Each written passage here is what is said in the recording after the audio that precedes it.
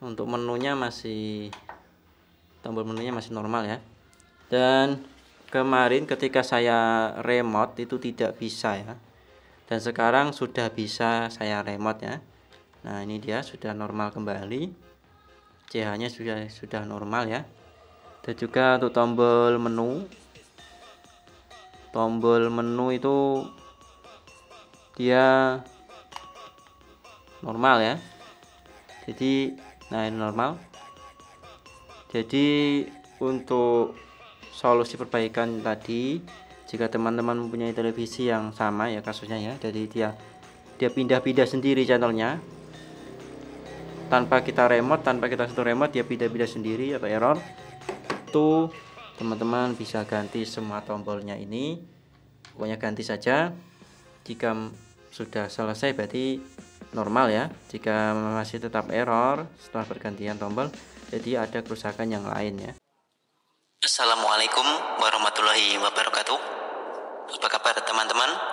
Ketemu lagi dengan saya Mas Jack Di channel Mas Jack Elektronik. Jangan lupa like, komen, dan subscribe. Dan juga aktifkan lonceng notifikasinya Agar teman-teman mendapatkan notifikasi setiap saya upload video terbaru di channel Mas Jack Elektronik and Audio Semoga bermanfaat. Selamat menonton videonya. Assalamualaikum warahmatullahi wabarakatuh Apa kabar teman-teman Ketemu lagi dengan saya Mas Jack ya Di channel Mas Jack Elektronik Jadi di pada kesempatan kali ini Di hadapan saya ada satu buah televisi ya. Televisi Mersap Dengan tipe Piccolo ya 21 inci. Yang kerusakannya adalah error pada tombolnya ya. Error pada tombolnya. Jadi sebenarnya televisi ini sudah jadi ya. Jadi saya hanya berbagi pengalaman servis saja. Jadi kerusakannya itu adalah televisi ini itu dia channelnya berubah-berubah sendiri ya atau error ya. Jadi jika kita remote dia tidak bisa di remote sama sekali ya. Jika kita tekan tombol menu malah dia pindah-pindah channel sendiri. Dan kemarin itu saya cek itu memang di sini ada beberapa tombol switch ya. Ini tombol switchnya yang letaknya ada di sini ya. Ini ada menu volume main volume plus dan CH min CH plus ya. Itu tombolnya ada yang short ada yang short atau konslet salah satunya atau keduanya atau ketiganya ya jadi dia salah satunya ini ada yang konslet dan juga tombolnya banyak yang error. Maka saya solusinya saya ganti semua tombolnya saya ganti ya. Dan kebetulan kemarin itu saya ada cabutan ya. Jadi saya tidak mengganti dengan yang baru. Saya ganti dengan sesama TV sub ini ya. Tombolnya sama jadi saya ganti. Itu televisinya sudah normal kembali ya. Jadi letak tombolnya itu ada di sini.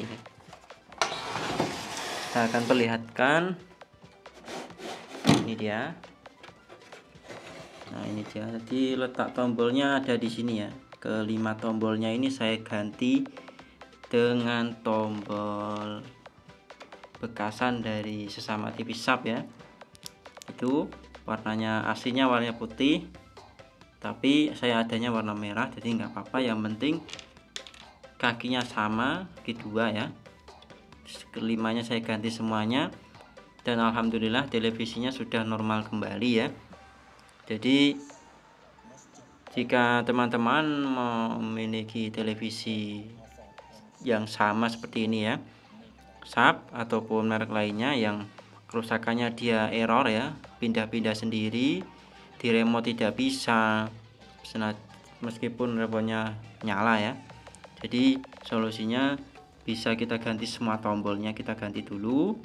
Lalu kita cek jika normal berarti hanya tombolnya yang rusak ya. Dan jika masih tetap error setelah pergantian tombol yang baru tombol yang normal ya tetap error berarti dia ada kerusakan di bagian lain entah di bagian memori atau di bagian IC programnya ya. Jadi untuk keluhan televisi ini sudah selesai saya akan coba nyalakan ya. Oke mesinnya sudah saya rakit ya. Jadi saya akan coba nyalakan. Nah tombol menyala tombol power menyala tombol power on menyala dan kelihatan rasternya ya. Raster di situ ada nomor 93 kita tekan. Tekan ya. Dia pindah. Dia up. Terus tekan CH turun. Dia turun ya. Jadi ini normal ya. Jika kemarin itu ketika saya tekan tombol semua tombol salah satunya dia itu pindah-pindah sendiri channelnya ya. Untuk menunya masih tombol menunya masih normal ya. Dan kemarin ketika saya remote itu tidak bisa ya. Dan sekarang sudah bisa saya remote ya. Nah ini dia sudah normal kembali. CH nya sudah sudah normal ya. Dan juga untuk tombol menu. Tombol menu itu dia normal ya. Jadi nah ini normal. Jadi untuk solusi perbaikan tadi jika teman-teman mempunyai televisi yang sama ya kasusnya ya jadi dia dia pindah-pindah sendiri channelnya. Tanpa kita remote tanpa kita satu remote dia pindah-pindah sendiri atau error. Itu teman-teman bisa ganti semua tombolnya ini. Pokoknya ganti saja. Jika sudah selesai berarti normal ya jika masih tetap error setelah pergantian tombol jadi ada kerusakan yang lain ya Oke mungkin untuk pengalaman service kali ini cukup sampai di sini ya Jangan lupa like, comment, dan subscribe dan aktifkan lonceng notifikasi agar teman-teman bisa mendapatkan notifikasi setiap saya upload video terbaru di channel Mas Elektronik ini. Oke, mungkin sekian dulu. Sekian dari saya. Semoga kurang lebihnya saya mohon maaf dan saya akhiri. Assalamualaikum warahmatullahi wabarakatuh. Salam Mas Jack Elektronik.